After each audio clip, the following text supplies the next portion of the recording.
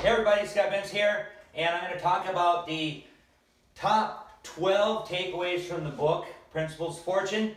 And the first one is it doesn't matter where you come from, you can be successful in business. You don't have to be an Ivy Leaguer. You don't have to uh, be from Silicon Valley. You can do it right from wherever you're at.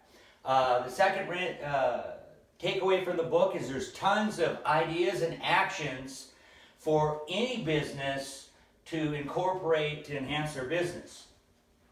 Um, the third one is how to deliver more to your customers, your partners, and of course, your employees. The fourth one is how to include fun at work and keep it going. It only takes a minute to add fun to anything, a meeting, etc., etc. Um, number five is e-commerce concepts to win in whatever space you happen to be in. The sixth thing, sixth takeaway from the book is why running a business with principles creates more reward and creates more innovation.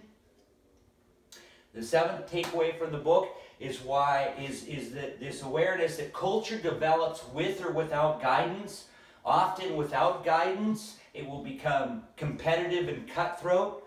Um, and how to prevent that? Uh, eight is why companies fail at creating a winning culture and the things to look for to prevent that. The ninth thing is, is to learn how to create a winning culture and actually get the principles into the workplace. The tenth takeaway from the book is why transparency matters.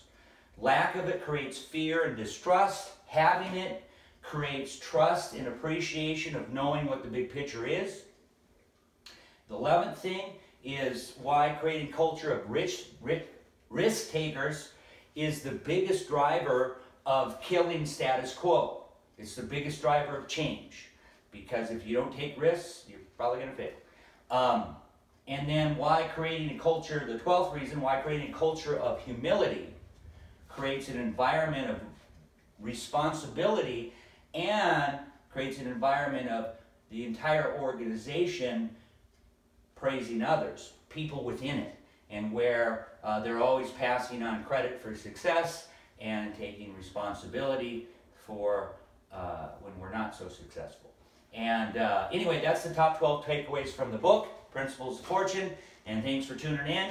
And until next time, smile.